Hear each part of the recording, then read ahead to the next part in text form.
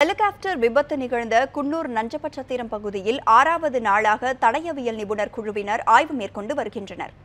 குன்னூர் நஞ்சபட்சத்திரம் பகுதியில் கடந்த எட்டாம் தேதி முப்படை தலைமை தளபதி பிபின் ராவத் அவரது மனைவி உட்பட பதினான்கு பேர் பயணம் செய்த ராணுவ ஹெலிகாப்டர் விழுந்து விபத்துக்குள்ளானது.